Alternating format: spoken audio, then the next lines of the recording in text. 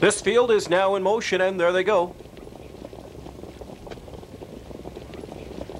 They're off and pacing from the outside. There goes six. Token favorite charging at the front, leaving with him as emerging, and also out there fast, back in the saddle of Pan. Cam and Black is left from the inside to gain fourth. Bidding for time is on the inside fifth, and Ritchie is going to try and keep as close a tab on Steve Condren as he can. Not in my knickers, trying to find a seat there from six, but the seat's not there. It's filled by about to lose control. Mario further back on the inside with Wilder Echo. Paltrow is caught a bit wide, and the trailer as they move over to the opening quarter is Artistic Wonder. Opening split 26 and 4, and at 60 to 1, emerging as the first leader. Token favorite back in second. Back in the saddle of Pan on the outside, rushing up into third, now second, and coming after the front.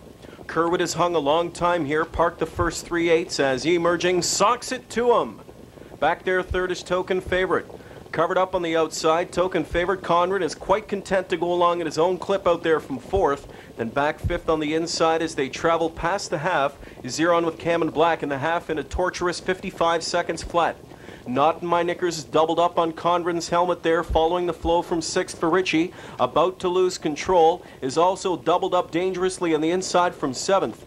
Eighth and moving out now comes Paltrow. Further back, Artistic Wonder shuffled to last. Wilder Echo three quarters of a mile, and it's been a nightmarish journey for both emerging and back in the saddle of Pan. Three quarters for them in 123 and 4. Bidding for time is going to gobble them up, and Not in My Knickers has got a shot on the far outside for Ritchie as well. Bidding for time has got to stay tough. Here comes Not in My Knickers, Not in My Knickers on the outside trying to come on. A desperate and frantic finish coming up in the Camfella final. Bidding for time has run out of time. Not in My Knickers has got him on the outside by a neck. Not in My Knickers and Ritchie defeat Bidding for Time. Third was Six Token favorite, 151 and 2. The Camfella final to Not in My Knickers.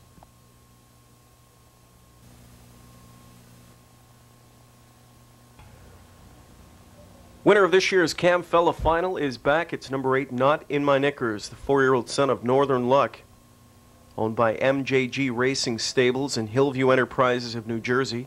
This one campaigned by Dr. John Hayes and was driven to victory this evening by Trevor Ritchie. It's the fourth in seven this year for Not in My Knickers, 151 and 2, a lifetime best performance for the Pacer.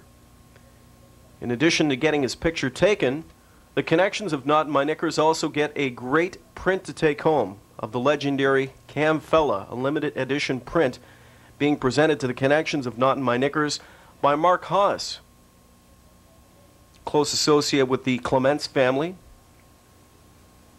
Does a lot of their training, and he is out trackside to make the limited edition print to the connections of Not in My Knickers, congratulating them on a job well done in this year's Camfella final. Trevor Ritchie joins me in the paddock after scoring the victory with Not in My Knickers in the Camfella Pacing Series final.